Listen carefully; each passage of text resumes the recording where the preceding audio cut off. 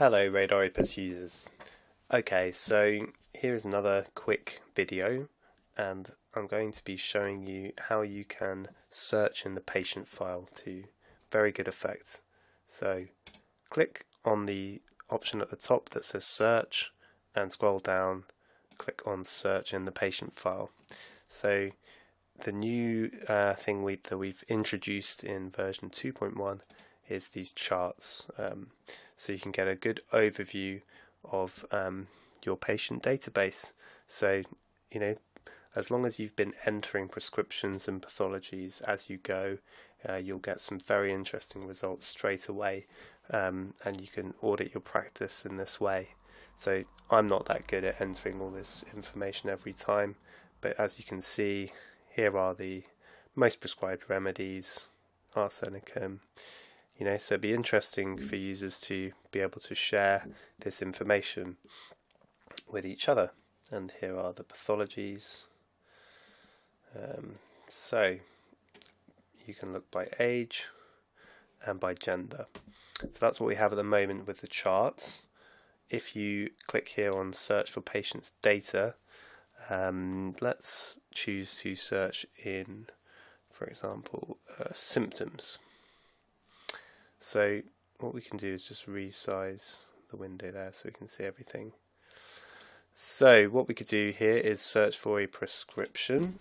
Um, let's look for, so you enter the abbreviation and then press enter or return and then it shows you the number of times that remedy has been found. So the symptoms are there and the name of the patient would be showing, but I have it on Congress mode at the moment, which hides the names. And what you can then do is to click on the Excel button to export the search results as an Excel file. Okay, so let's clear that search. And another thing we could do is to search for a symptom. So, for example, ambition. And then it shows you all the times you've used that rubric. So you could go, if I double click on one of these now, it will open that patient file. And I can say yes to look at the analysis. And then once that's loaded you can see there. So it's from QREP ambition. Okay so I'm just going to close that now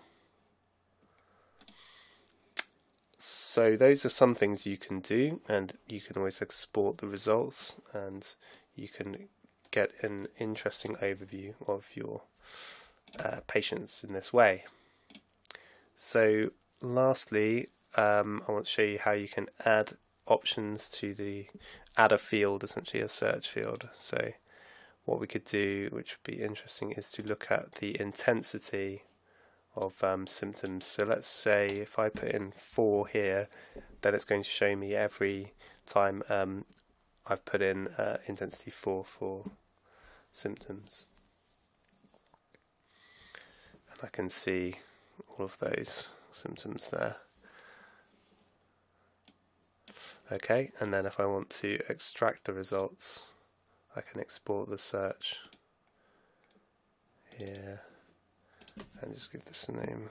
So, underlined symptoms, and that will be saved as an Excel file that I can then open and look at the results.